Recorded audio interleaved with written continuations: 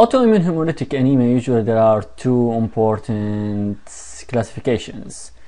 There is one type called warm, IgG type, and the other type called cold, IgM type.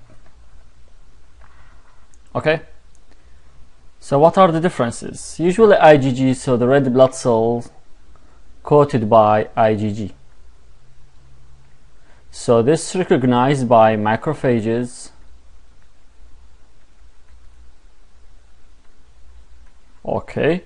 So as a result of this the the end result will be extra vascular hemolysis. So the features you remember with extravascular hemolysis jaundice will be more than an intravascular and hepatosplenomegaly okay. Also more than than intravascular because here the problem with the macrophages that ingest the abnormal or decoded red blood cells. Example SLE and chronic lymphocytic lymphoma.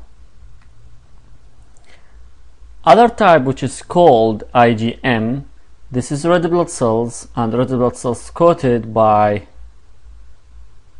this kind of antibodies which is IgM type. IgM type with red blood cells activate not the macrophages, although some of them may activate the macrophage, but usually activate the complement.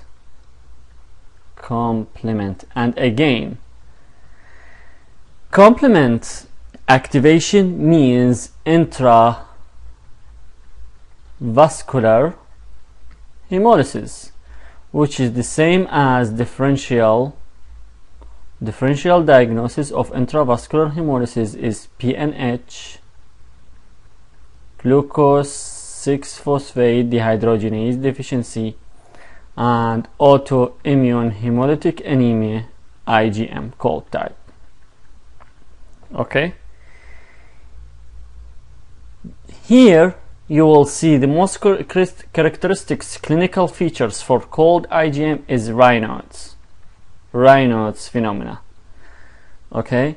Raynaud's sorry. Raynaud's phenomena. You will not see jaundice. You will not see hepatosplenomegaly like in case of IgG type. So finally what are the causes responsible for cold IgM here EBV virus, Epstein-Barr virus, and mycoplasma. So we are the mycoplasma. Here you are dealing with infectious re reasons or causes, and in case, while in case of warm IgG type, you are dealing with either autoimmune disease like SLE or malignancy like chronic lymphocytic leukemia. Final things, one of the treatment for IgG is because you are dealing with spleen, so one of the treatment is splenectomy while on the other side called IgM there is no splenectomy option in a treatment because you are dealing with intravascular hemolysis. The main features in cold IgM type is Raynaud's, while the main feature in warm IgG type jaundice and hepatosplenomegaly. Okay.